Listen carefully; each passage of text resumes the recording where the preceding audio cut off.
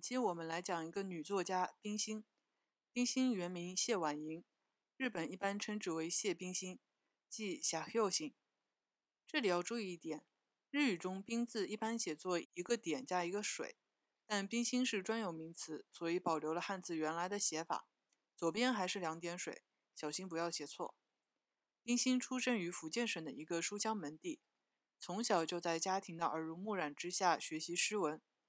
一三年时，随父亲迁居北京，进入教会学校贝满女中接受教育。一九一九年进入协和女子大学学习，也就是后来的燕京大学。刚开始，他想当一名医生，但在五四运动的影响下转入文学系，一边创作文学作品，一边搞学生运动。期间，在《晨报》副刊上刊登了处女作《两个家庭》。二一年又发表了小说《笑超人》。在文坛上崭露头角，并加入了由周作人、郑振铎等人发起的文学研究会，努力实践为人生的宗宗旨。期间，他还出版了诗集《繁星》《春水》等等。一九二三年，他前往美国留学，学成后回国，成为燕京大学的教授。三七年抗战爆发后，他转至昆明，在西南联大任教。解放后，除致力创作之外，还参加各种社会活动，先后在文联、作协中任职。文革中，冰心被打成造反派，下放到五四干校接受劳动改造，呃，一直到一九七一年才回到北京。文革结束后，他又担任文联副主席、作协顾问等职位。冰心还是比较长寿的，一直到一九九九年才过世，创作持续时间也比同年代的作家要长。分布也比较均匀。当然，这期我们还是以介绍他早期作品为主。冰心最早是以问题小说震惊文坛的。在中国现代文学史上，问题小说指的是五四时期兴起的一种小说类型。按照周作人的说法，问题小说就是论及人生诸问题的小说，而茅盾则进一步规定，问题小说就是以劳工问题、子女问题。以及伦理、宗教等问题为中心的小说。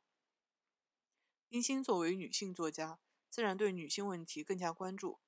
如1919年的《秋风秋雨愁煞人》就是一个典型的例子。《秋风秋雨愁煞人》最早出自清代诗人陶宗亮。五四前，因为被女革命党秋瑾引用而名声大噪。冰心这里用这个诗句作为标题，呃，是为了呼应女主角殷云。因为包办婚姻而不得不放弃自己的学业和理想的悲惨命运，而同年的另外一部作品《庄红的子子》同样也关注了女性的教育问题，反映了男女在受教育权上的不平等。而最后的安息，则是直接揭露和控诉童养媳这一恶习的残酷。另外，私人读憔悴和去国虽然没有涉及女性问题。但也在一定程度上展现了五四这一历史转换时期青年学生的困境和痛苦。如果说一九一九年至二零年之间，冰心的问题小说还都只是只问病源不开药方的话，那二一年的超人大概可以算是他为这种种社会问题开出的药方。小说一开篇就说主人公何冰是一个冷心肠的青年，从来没有人见他和什么人有过来往。甚至但凡带一点生气的东西，他都不喜欢。而在房东陈姥姥和楼下生病的小孩露儿的影响下，他想起了自己慈爱的母亲，意识到了母爱的伟大，为自己过去的冷漠和虚无思想而忏悔。这篇小说标题中的超人，指的其实就是尼采的超人哲学。而何冰被母爱感动，放弃自私冷酷的人生态度。也就是用爱的哲学战胜了尼采超人式的赠世哲学，这个药方影响了冰心创作相当长的一段时间。后来的《烦闷雾》也都是用亲子之爱驱散烦恼、化解精神危机，并将爱的哲学宣扬到神圣无边的程度。一般认为，冰心的爱的哲学主要是受基督教博爱思想、泰戈尔宗教哲学影响而形成的。而说到冰心最著名的作品，大概就要数被无数次收录进教科书中的《记小读者》。其实，《记小读者》一共有三部，每部包含二十多篇，且都是用书信或者说是用通讯的形式写成的。第一部写于一九二三年至二六年之间，即他在美国留学的时候，一共二十九篇，主要记录旅途的风光、海外译文，同时抒发对祖国和亲人的思念。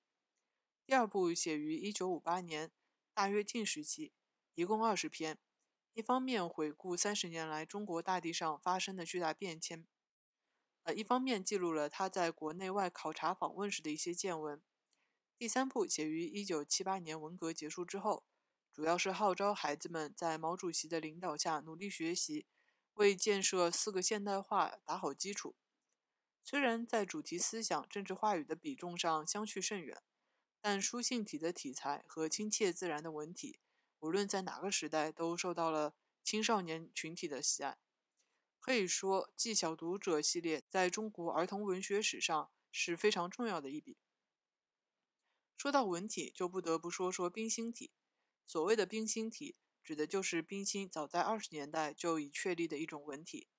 它以口语，也就是白话文为底子，将古典文学中的词章。词汇融入其中，并结合西方语言的特点，使之更加精炼典雅，变成一种文学语言。